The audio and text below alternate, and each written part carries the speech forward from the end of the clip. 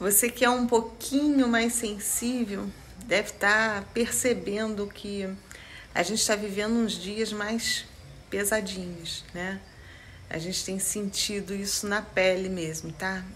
Assim, meio que a coisa tá densa, parece que tá tudo muito pesado. O tempo pesado, o clima pesado. Tá assim para todo mundo, gente. Eu sempre passo para vocês dividindo para que você não sinta que é só com você, viu? Está no ar, está na psicosfera. Não adianta a gente enganar e falar que está tudo bem. Não, não tá. Tá assim, aquela calmaria antes da tempestade.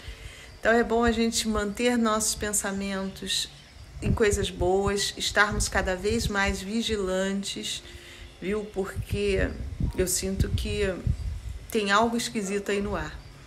Mas vamos ser otimistas, fortes e manter a certeza que não estamos sós, viu?